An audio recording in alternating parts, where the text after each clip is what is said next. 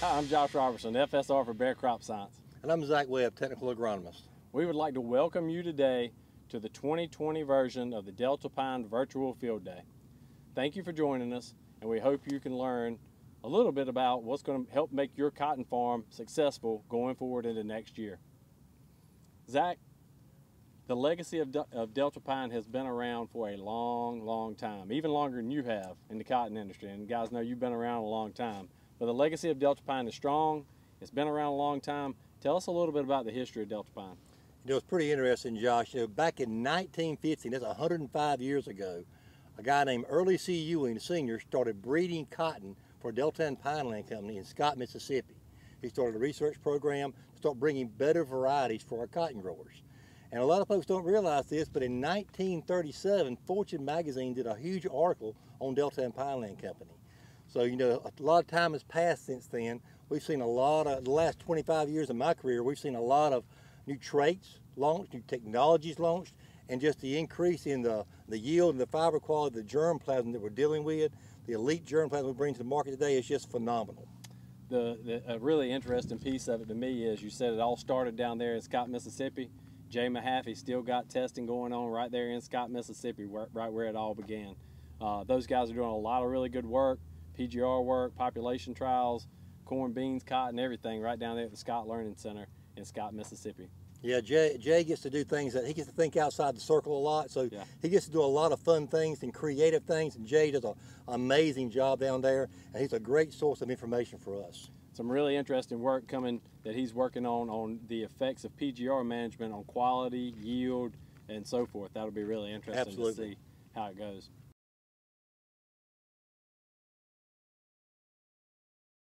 Speaking of the legacy of Deltapine Cotton's Act, 1646. I think that that number in itself has created its own legacy. If it was a basketball player, I think he'd have his his jersey retired by now. Don't you agree? I, I agree, Josh. When I, when I hear those four numbers, I, I, smile pretty big because you know we're talking about a cotton variety here that has really set the bar uh, for the cotton industry.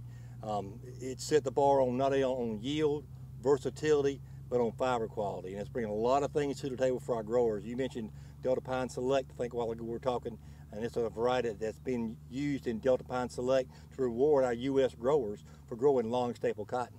So it is a Deltapine Select variety. The one thing being the class of 16, it is a Bollgard 2 variety, which brings us into what we're transitioning into now.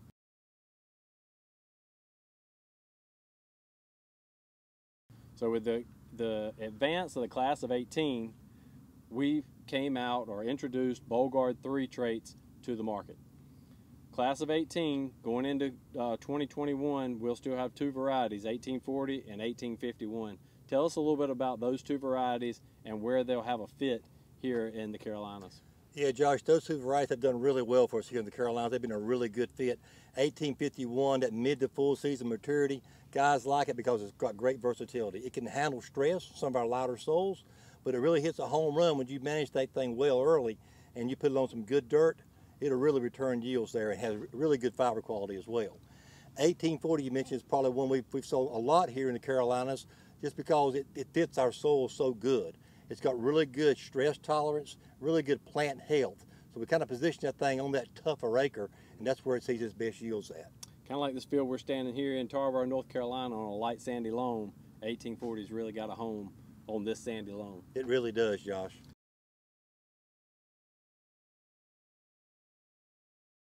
We roll into the one variety that we had out of the class of 19. We've got a good number of those acres around planted. Looked at some of those today, looking really good. Tell us a little bit about 1916 and where it has a fit. 1916 has done really well for us here in the Carolinas, especially if we keep it on that productive acre, and that's its fit. It needs to be on that good acre. It's really easy to manage with PGRs, uh, responsive to PGRs, so pretty easy to manage on those really good productive acres. So when we look at something like we were talking about 1840, 1851, now we're back at a 1916. I think it's worth stopping here to mention the the the, the scale that our numbers run on and kind of define uh, what that means. So when we say a 1851 or a 1916, 19 would be the class of release. So 1916, the year 19, 2019, and then the 16 defines the earliness. So the closer you get to zero, the earlier the cotton. the farther you go towards 60, the later the cotton. So 1916 would be a true early cotton. Is it that would. right, Zach? It would. In 1851, would be like we call it a mid to full on the full side of mid to full.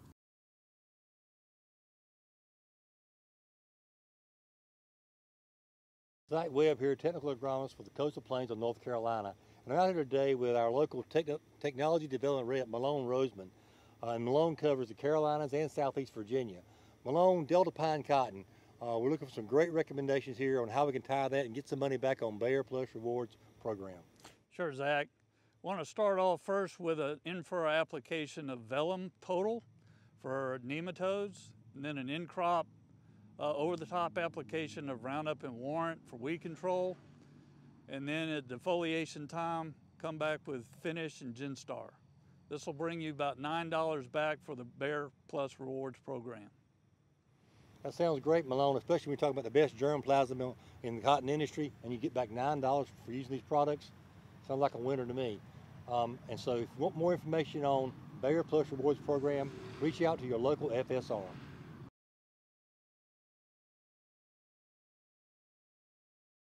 Well, you know, Josh, um, we talked about 1646 a while ago and the bar it's set. And the challenge our breeders have and our researchers have is when you get a variety like a 1646, you, you got to keep coming with things that'll beat it.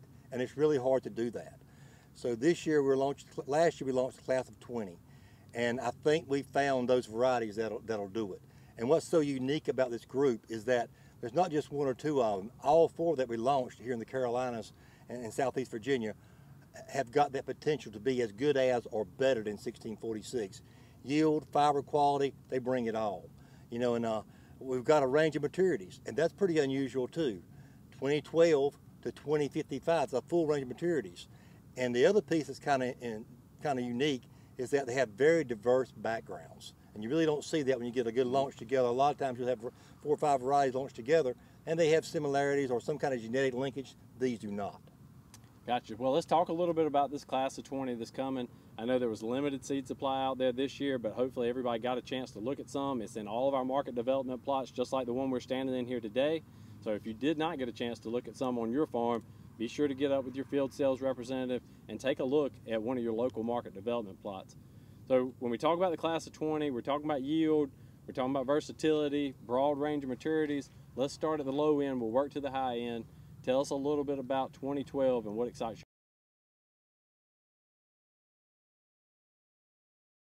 you about that.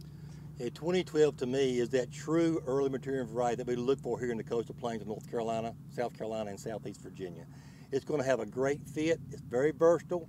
Uh, it, it, has got really good stress tolerance, especially for its maturity. A lot of times, the early maturing variety doesn't have really great stress tolerance. 2012 does. So that's going to make it pretty versatile. But if you pin me in the corner and said, where's the best fit for 2012, it's going to be on that productive acre, that really good high class acre where we see top end yields come back. So we saw yields even here in eastern North Carolina up above four bales last year. We did. Our NPE growers uh, had several NPE growers who turned in yields above four bales with 2012 last year. A really impressive variety. It really is. And and uh, a lot of times growers ask you, what does a variety remind you? What old, we don't compare it to old varieties. And if you, if you ask me that question about 2012, I would say phenotypically, it reminds me a lot of 0912. Mm-hmm. It bushes out, it blocks off really nicely, it lateral fruits nicely, and, and the one the one upside it has over 2012 other than yield is the fact it has really good fiber quality. Outstanding fiber quality for Deltapine 2012 for sure you to yourself to take a look at it, especially if you're looking for an early cotton variety. This thing really showed off well last year, looks really good, even under some stressful conditions this year we've had in the Carolinas, is really standing out well. So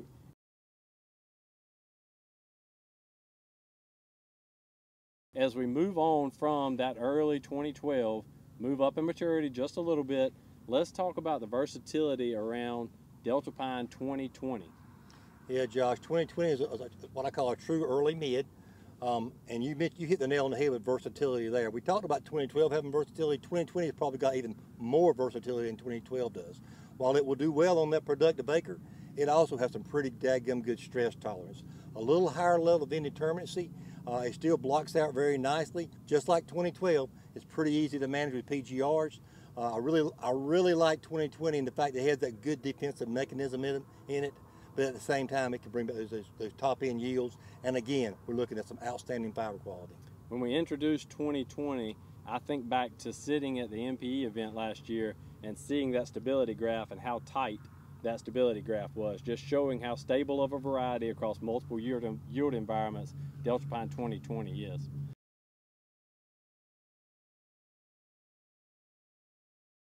So we talked about stability, we talked about early variety, we've talked about a versatile variety. Let's talk about yield because Deltapine 2038, that is the story. Tell us about 2038. Yes, it is. Our, our growers last year in the NPE uh, really let us know that this thing was, was a, a, a racehorse yielder. And the guys really loved it. Um, it's a robust plant. It'll require some early season PGR. It has has tremendous strength of terminal, which gives us some really good defensive traits as well. Um, this was the highest yielding NPE variety we had last year, out yielding 1646 and, and, pretty much everything else across the board. We're really excited about it. It's got a really broad fit throughout the cotton belt, but we really like what we saw out of it here in the coastal plains of the Carolinas and Southeast Virginia last year. And that maturity is about a mid, so it's going to fit a lot of farms out there and be a pretty versatile variety for us as well. So when we talk about high winning yields, we got to go back to the class of 16, 1646, and the on farm trials with Dr. Guy Collins, where 1646 has dominated that trial since its inception. This year, 1646 will be paired up head to head with Deltapine 2038. We really look forward to seeing how that comparison goes. Yeah, Josh, uh, Dr. Collins does a great job with his trials. We've been very fortunate at Deltapine to to have the highest yielder every year in those trials since the inception of the trials. And you mentioned 1646, it's been very dominant. Every year it's been in there, it's been the highest yielder. So it's going to be great this year to see how 2038 compares to 1646 in our on-farm trials with the university.